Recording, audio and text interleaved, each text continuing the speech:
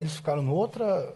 Eu sei, mas o que eu estou dizendo, mas eu. Eu, eu, eu não tive esse contato, eu, não tive como ter mas esse é, contato. É que o abraço, o abraço, ele é um gesto que exige reciprocidade, compreende?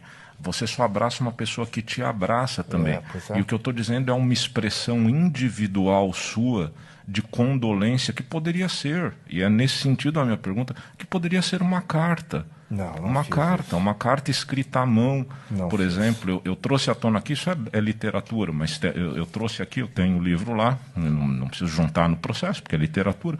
O livro a respeito do que aconteceu na Day Station em Rhode Island, nos Estados Unidos, o acusado que tinha uma posição similar de dono da boate, ele faz isso. Ele manda uma carta para cada um dos pais não, das 100 isso. vítimas falecidas.